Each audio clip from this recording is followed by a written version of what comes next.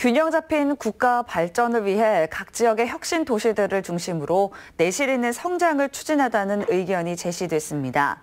양적인 균형이 아닌 질적인 균형도 따져볼 시점이라는 의미입니다. 민방 공동 취재단 길재섭 기자가 취재했습니다.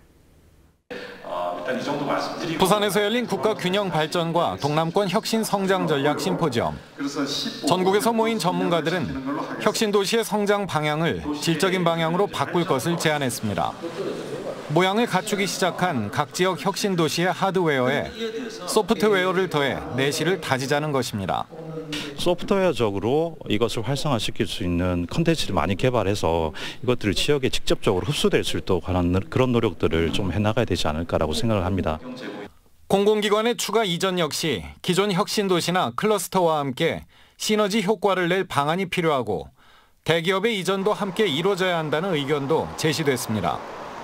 이전을 현실화하기 위해서는 법적 제도적 혜택은 필수 조건입니다.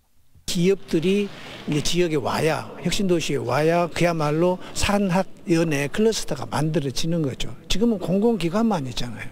수도권과 서울 중심의 발전은 지방의 소멸로 빠르게 이어지고 있는 만큼 혁신 도시 등을 중심으로 새로운 성장 거점 구축이 시급하다는 지적입니다.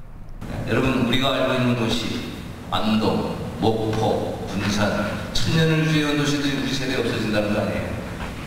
저는 그 예측이 틀리기 바랍니다. 국가균형발전 성장 전략을 연구하는 각 지역의 연구자와 단체들은 국가균형발전위와 함께 지역 실정에 맞는 세미나를 순차적으로 마련할 계획입니다. 민방 공동취재단 길재섭입니다. 전략